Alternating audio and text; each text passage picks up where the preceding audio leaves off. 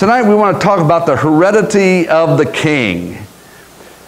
In the Gospel of Matthew, he is writing, it's fascinating how the Gospel writers have a different focus concerning Jesus. Matthew is presenting Jesus as the King of the Jews. And so we see things even with the genealogy of the Lord Jesus Christ in Matthew that is different from the genealogy that you have in Luke 3. And the reason is there's a difference of the focus of what the, the gospel writers are doing. So Matthew is presenting Jesus Christ as the King of the Jews. Mark is presenting Jesus as the servant. And you know what is one of the key words in the Gospel of Mark that you see over and over again? Immediately. Immediately. You keep reading and you'll find immediately that word used so many times in the Gospel of Mark. So Mark's focus is different than Matthew's. Luke is presenting Jesus as the Son of Man.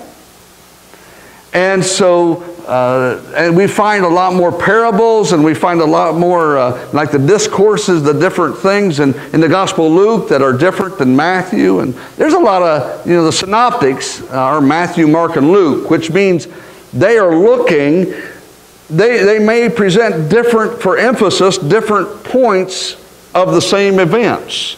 We've seen some miracles that Matthew records it differently than Luke. That doesn't mean there's no inconsistency in the scriptures. It's just a, a different aspect, a different view for the purpose of the gospel writer. The Gospel of John is presenting Jesus Christ as the Son of God. The focus is on his deity. And so we see, uh, and, and we even see this with the birth of Christ and the presentation of the birth of Christ. So, since Matthew is showing Jesus as the King of the Jews, this is why you start out in verses 1 to 17.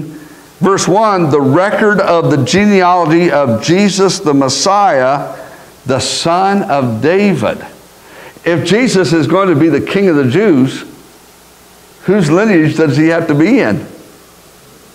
David. And you have to find that. So he's the son of David and the son of Abraham. Now it's interesting because Luke is showing in Luke 3 goes all the way back to Adam. Was that necessary with the Jews in Matthew? No, because Matthew's purpose is to show Jesus as the son of David, the right heir to the throne of David in that kingly line, and the son of Abraham. So Matthew doesn't go, want to go back farther than Abraham because he doesn't need to concerning the, the, the lineage of Jesus Christ. So we're seeing his human heredity, the son of David. Let's go to 2 Samuel chapter 7. You will see 2 Samuel chapter 7, God's covenant with David is an eternal covenant. God's covenant with Abraham is an eternal covenant. How do we know that? Well, we still are under the blessing of Genesis 12. You know, God bless the, those that, that bless, uh, you know, that, that are right with Israel. But what's he do to those that are opposing Israel? curse. You have in Genesis 12, you have in Genesis 15 the land covenant, the very aspect of the land that God says, I'm giving you. And that was reiterated to the descendants. That was told again to, we have it with Abraham, we have it with Isaac, and we have it with Jacob, the patriarchs. And so now we're going to see in 2 Samuel chapter 7, verses 12 to 16, the Bible says, When your days are complete and you lie down with your fathers, I will raise up your descendant after you, who will come forth from you, and I will establish his kingdom. He shall build a house for my name. Well, that happened. Who was that? Solomon. King Solomon the descendant that rose up, that would build the house and a house for my name, and I will establish the throne of his kingdom. How long? Forever. So then you see, forever I will be a father to him, and he will be a son to me. When he commits iniquity, I will correct him with the rod of men and the strokes of the Son of Men. But my loving kindness shall not depart from him as I took it away from Saul. Even though Solomon is going to worship other gods and be turned, his heart turned away from the Lord, the Lord said, I will not do what I did with King Saul, removing the kingdom from Saul when he anointed David. That is the background. That is why it is so important for us to know that in history when we look at Psalm 51. This is the idea when David is saying, Take not your Holy Spirit from me, because what happened with King Saul? The Spirit of the Lord had left King Saul. In the Old Testament, the Holy Spirit, He did not come into and dwell the believer. He could come in, in power, but not the indwelling like we have with the New Testament. Like we have in the, at this very time. Somebody comes to know the Lord Jesus Christ, the Spirit of God comes to take up residence, comes to, to live within the believer. So David was praying in light of that take not your Holy Spirit from me, even as he saw what happened with King Saul. Because David said, I've sinned grievously against the Lord. And so he didn't want to have that to happen. So we see this in the Bible. I will correct him with the rod of men and the strokes of the sons of men, but my loving kindness shall not depart from him as I took away from Saul, whom I removed from before you. Your house and your kingdom shall endure before me forever. Your throne shall be established forever. In accordance with all these words and all that vision, so Nathan spoke to David. Now go to Isaiah chapter 11. You see a prophecy that will take place and will be fulfilled when Jesus Christ will set up the kingdom, will reign. Isaiah chapter 11, verses 1 to 10. Then a shoot will spring from the stem of Jesse. Who was David's father? Jesse. So there will be a shoot will spring from the stem of Jesse, and a branch from his roots will bear fruit. The Spirit of the Lord will rest on him the Spirit of wisdom and understanding, the Spirit of counsel and strength, the Spirit of knowledge and the fear of the Lord. We saw that in Isaiah 9 6. His name shall be called Wonderful Counselor Mighty God, everlasting Father. That's the Father of everlasting or eternity. The very aspect that He's eternal, the eternal Son of God. But what we see here, the, the spirit of knowledge and the fear of the Lord, he will delight in the fear of the Lord. He will not judge by what his eyes see, nor make a decision by what his ears hear, but with righteousness he will judge the poor and decide with fairness for the afflicted of the earth and he will strike the earth with the rod of his mouth, and with the breath of his lips he will slay the wicked. Also, righteousness will be the belt about his loins, and faithfulness the belt about his waist. And the wolf will dwell with the lamb, and the leopard will lie down with the young goat, and the calf and the young lion and the fatling together. And a little boy will lead them.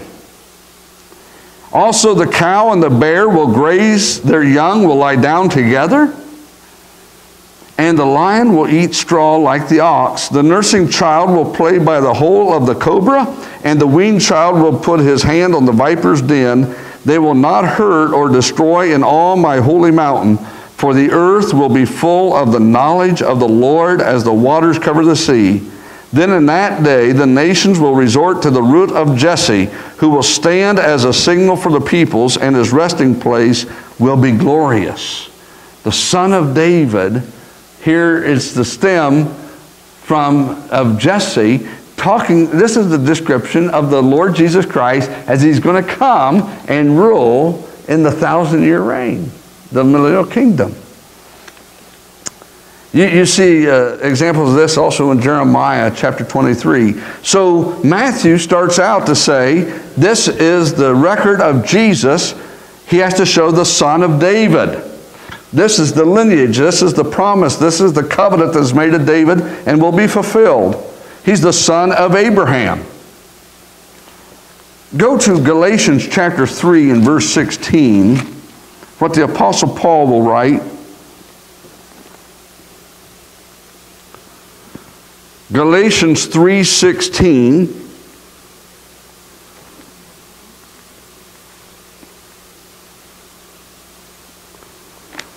Now the promises were spoken to Abraham and to his seed.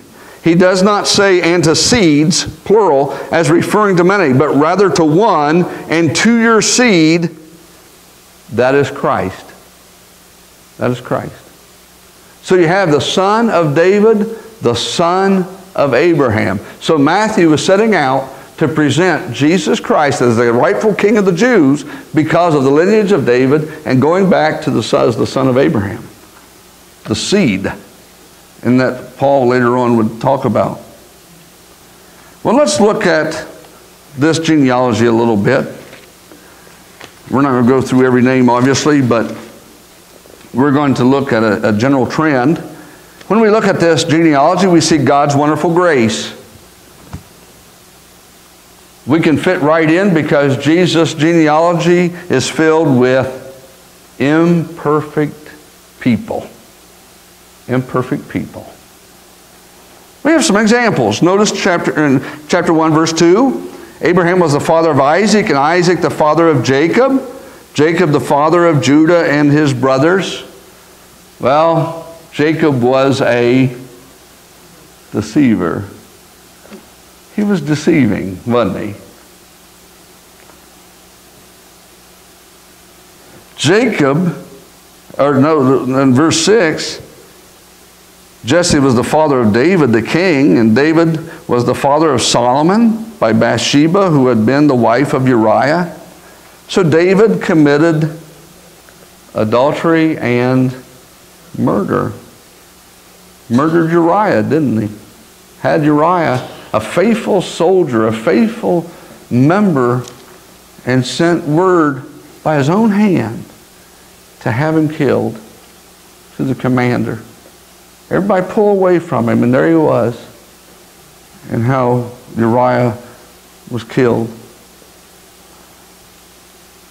Solomon, we talked about this a little bit, took an abundance of wives and concubines and turned away from the Lord in direct disobedience to the Lord. The Lord said, You're not to be marrying these foreign wives.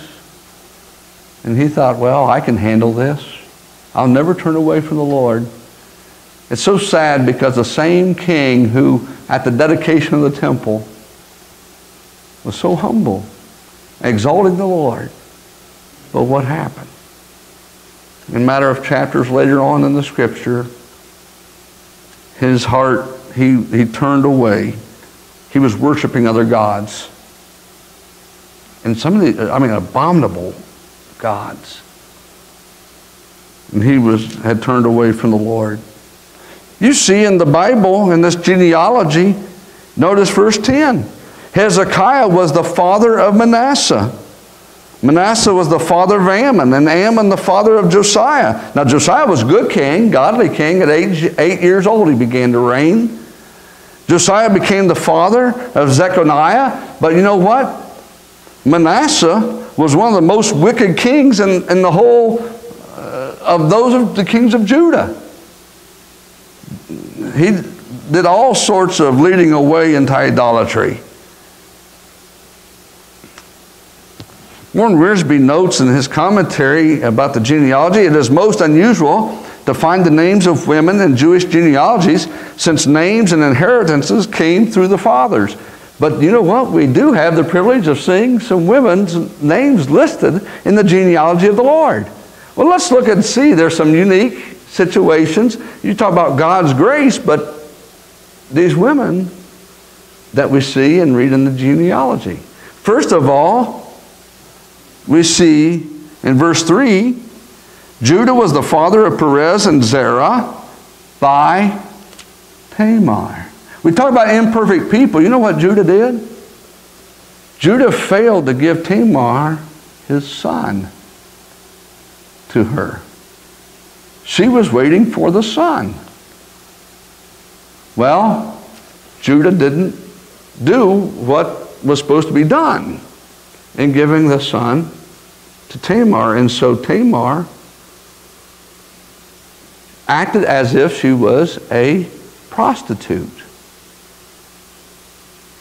And Judah, you know, remember when Judah heard that Tamar was with child and he was irate and, you know, that, you know, deserving death. And, and she says, the father is the one that these things belong to. And they belong to Judah. So you have Judah, but here you have Tamar, who posed as a prostitute. You have in verse 5, we know by faith, we saw this in Hebrews 11, but you have the, re- the reality that, okay, Sam uh, was the father of Boaz by Rahab.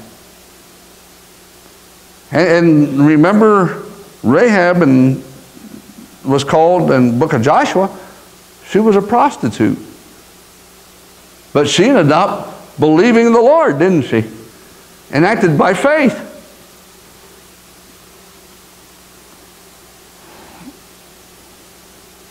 Ruth, we, we read the story of Ruth and a wonderful story about Boaz, the kinsman redeemer, and, and Ruth's faithfulness. And Ruth came back and was worshiping the true God. But Ruth was from uh, Moab, she was a Moabite, and came from a family that worshiped idols. But Ruth was used of the Lord in a great way. You know, we, we see Bathsheba's name mentioned. David was the father of Solomon by Bathsheba, who had been the wife of Uriah. Bathsheba, you know, when I put this committed adultery with David, David would carry, because of the aspect that David was king, and, and we're not told how, quote, willing Bathsheba was in this, but what you have is clearly the act of adultery. And you have uh, that she even was mourning the death of Uriah, but you have her name is listed in the genealogy. You have Bathsheba. Obviously, Mary was righteous before the Lord, but Mary would bear the stigma of pregnancy outside of wedlock because who in Nazareth is going to believe her? Opportunity to open up the scriptures together. And Lord, this opportunity to open up the scriptures together. And Lord,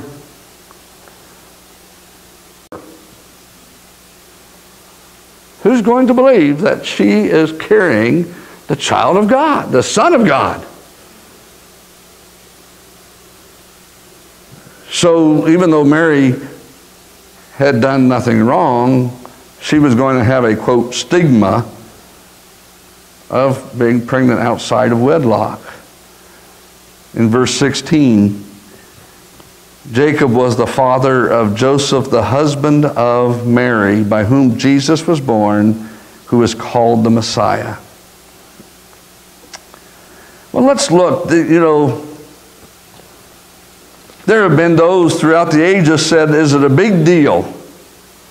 Is it a big deal to have the proofs of the virgin birth? And it is. Because, friend, if you don't have the virgin birth of the Lord Jesus Christ, you do not have the substitutionary atonement, the death of Christ on the cross for us. Because if Jesus Christ was not born of a virgin like the scripture said, what type of nature would Jesus be born with? The sin nature, the same that every one of us were born with. But he was not, he did not have the human father, the biological father. That Joseph was not the biological father. The virgin birth. I've heard pastors myself over the years. I, have talked with pastors and I've heard them say, you know, oh, I, I, I don't believe in the virgin birth. You know, this, this is, that's miraculous. I had a college professor one time that said, oh, I don't believe in the virgin birth. That would be a miracle. Well, yes, it is a miracle. But you know what I've learned? When you hear about liberal theology, liberal theology is unbelief. It's truly unbelief. It's failing to believe what the scripture says. And the reason I bring up that point, it grieves, my, it grieves me because the overwhelming majority uh, of colleges, I was reading a, a, a news today of a, a Christian college. There's, it's sad, but even this year, you've seen so many Christian colleges have abandoned the truth of the Word of God. They have truly abandoned the Word of God. And then you have seminaries that are cemeteries. They're, they're, not, they, they're teaching not true biblical theology, they're not teaching the Word of God. And you know what? Those, I appreciate what Adrian Rogers said one time. He said uh, he was preaching there at uh, Bellevue Baptist Church, and he said, you know, it, it was telling, and this was going on radio and various things. He made the message in his message. He said, uh, if you find yourself in this liberal church, a church that was no longer holding and believing to the scriptures, he said you should saturate that church with your absence. And he said he would hear people say, well, so and so was buried in the backyard, so and so was buried here, and, and I can't leave here. And he'd say, she would get up and go too if she could. The reality is, the, the focus was those that were no longer holding to the truth. So, one of the precious doctrines that the scripture teaches is the virgin birth of the Lord Jesus Christ. Dr. Elmer Towns, I still remember very clearly what Dr. Towns was teaching through Liberty University on the back years ago when they had VHS tapes that I took courses on VHS. But you know what? Dr. Towns made a statement that I've never forgotten, and he's, dead, he's right on. There are certain doctrines that we should be ready to die for. When Dr. Towns made the statement, there are certain doctrines in our church history, in church history, there were those that were willing to die for biblical truth. There were those that were willing to die for biblical truth. There were those that died for putting the Word of God in the language that we could we can hold and have. So what happens? And I believe one of those doctrines that we cannot compromise on is the doctrine of the virgin birth of the Lord Jesus Christ. The Bible says it, doesn't it? And we're going to see some proofs. I want you to see this. In the genealogy, there's important proofs and, and, and this is under the idea is you need to know what you believe, but why you believe it. Because there's going to be times where somebody might challenge you. And somebody might say, well, how do you believe, why do you believe that Jesus Christ was born of a virgin? And when you take them to the scriptures, and here I want to give you a couple proofs of the virgin birth that is so essential to the teaching of the, going with the atonement. Why Christ, that he would be eligible to die on the cross for us. First of all, notice in your genealogy, in verse 11, Josiah became the father of Zechariah, uh, yeah, Jeconiah and his brothers at the time of the deportation to Babylon. This is the time of the Babylonian captivity. Now, on your notes, I want to see under number one from the Tony Evans Bible commentary. This is what he wrote. According to Jeremiah, Jeconiah would not have a biological descendant sitting on David's throne because of his own sins. Jeremiah 22 30. It's called the curse of Jeconiah. It's the very aspect that God said because of his wickedness, because of all the things that he had done, he would not have a biological descendant that would reign on the throne. But we see his name in the genealogy. This is very important. So, although Joseph had a legal right to the throne because of Jeremiah's prophecy, it would never happen biologically. Thus, Matthew makes it clear that Joseph is not Jesus' biological father, but his adoptive father.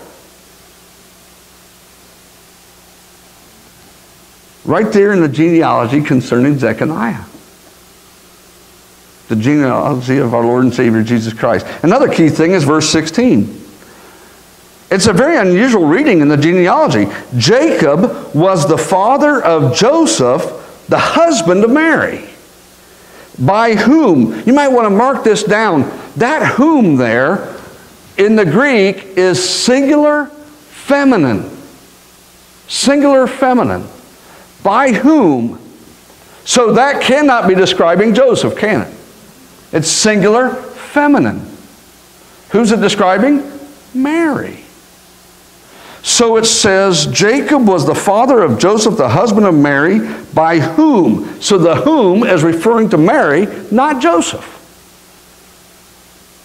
By whom Jesus was born, who is called the Messiah. By whom? That is singular feminine, so it's talking about Mary alone.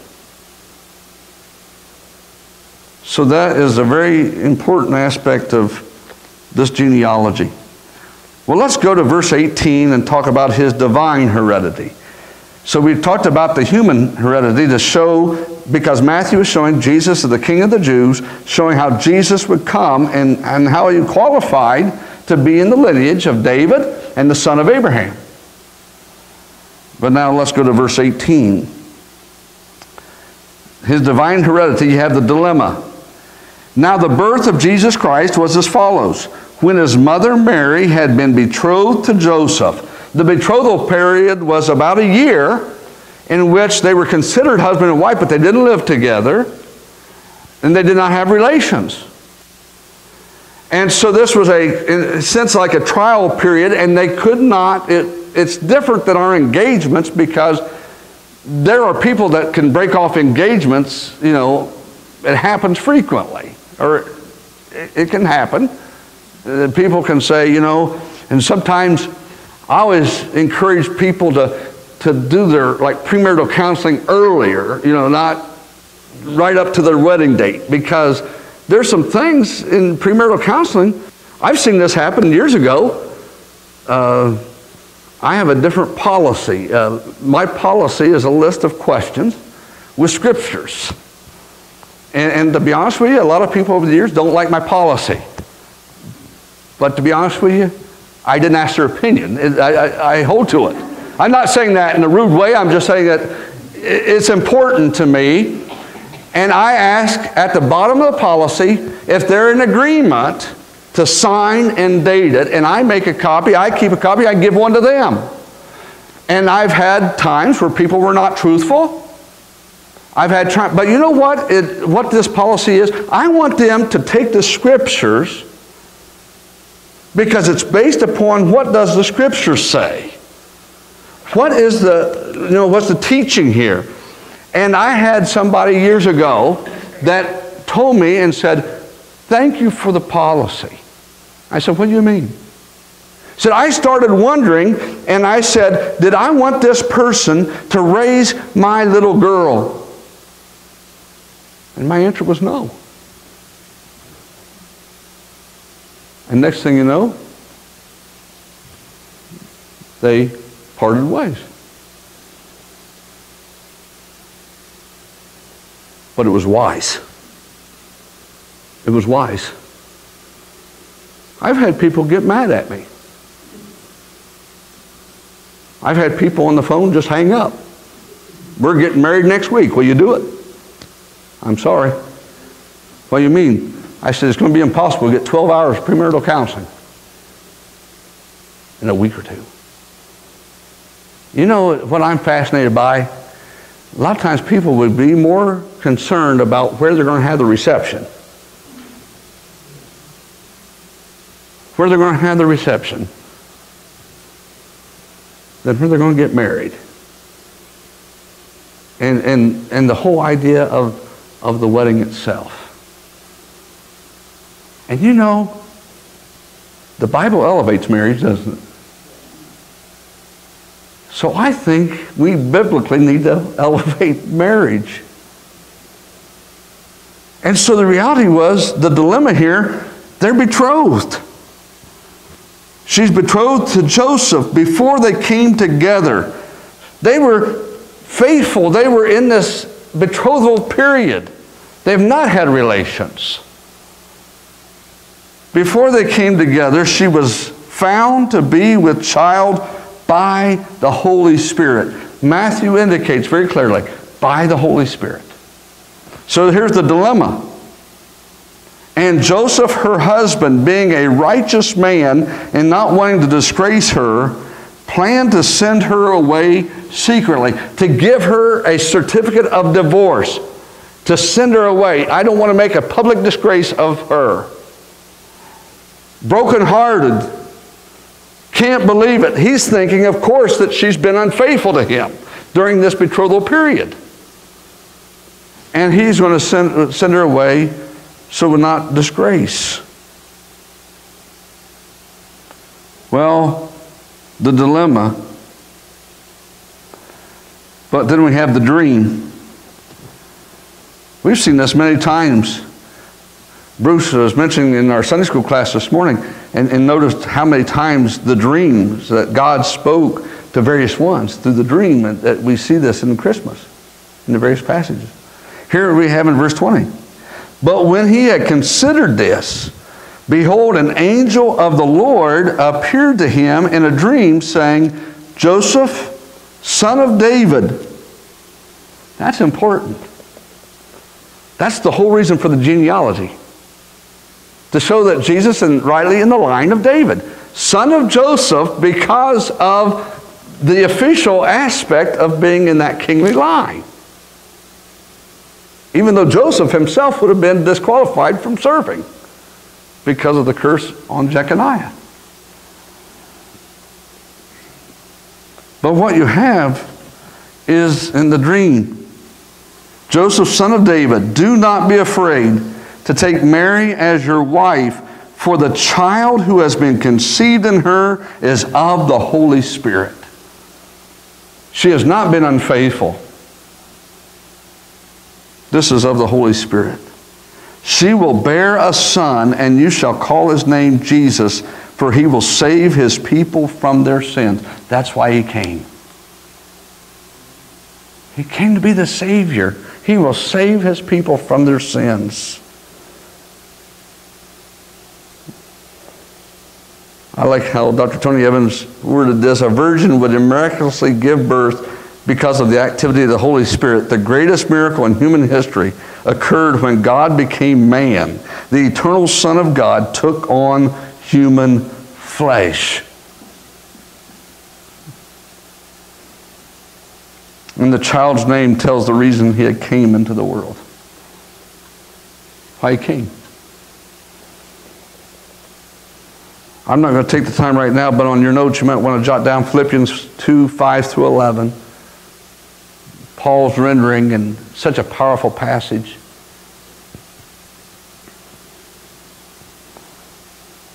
Philippians 2 5 through 11 about Jesus coming and putting on flesh. The deity, verses 22 and 23 now, all this took place to fulfill what was spoken by the Lord through the prophet. That was so important. Matthew records that for us, showing fulfillment of prophecy, fulfillment of prophecy, fulfillment of prophecy. This was, this was prophesied years ago, and this is how it's been fulfilled. Jesus Christ did this, fulfilled prophecy. And you see in the Bible, now all this took place to fulfill what was spoken by the Lord to the prophet. Behold the virgin. Oh, the liberals look at this. The liberal theologians look at this and say, ah, the word for virgin here in the Hebrew, it could mean young maiden, and it doesn't necessarily mean virgin. But guess what? Matthew is quoting from the Septuagint. He is quoting from the Greek version of the Old Testament, and there's a Greek word that means only virgin. Isaiah 7:14 quoted here in Matthew 1. The Greek word means virgin, exactly like it says. So we have here the virgin shall be with child and shall bear a son, and they shall call his name Emmanuel. And you know what that means? God is with us. God with us. Almighty God put on flesh, came here. Emmanuel, God with us. Heaven was coming down to earth. Eternity was invading time. You know, we're so limited with time, aren't we? You ever have the situation where you say, I have so much to do today, I wish there was an extra hour or two in today's, you know, in this day. We can't barter time. I always kind of cringe when I hear somebody say, Oh, I'm just, I'm just killing time. I'm thinking, Oh, I wish I could get some of that time that you want to kill so I can use it. We can't do that. We're all given the exact amount of the same time. But Jesus Christ precedes time. Do you realize that with eternity, he's unbound by time? What do I mean? What we saw in John 1 1, in the beginning was the Word. The imperfect tense is before creation ever was, was the Word, and the Word was with God, and the Word was God. But we see in Genesis chapter 1. In the beginning, God created the heavens and the earth. And then we would see it was evening, it was morning, and it was the first day. Second day. We had the creation of time, didn't we? But God is unlimited by time. He's unlimited. He's eternal. Jesus, the eternal Son of God invaded time. Eternity invaded time. He came and put on flesh. Well, verses 24 and 25, the direction. And Joseph awoke from his sleep and did as the angel of the Lord commanded him and took Mary as his wife but kept her a virgin until she gave birth to a son, and he called his name Jesus. Obedient, wasn't he? Obedient. Followed the Lord's direction. The Lord gave him the direction. So we've seen in Matthew 1 the heredity of the king, we've seen the genealogy. You know, we could all go back in our genealogy I have some real characters in my background. How about you?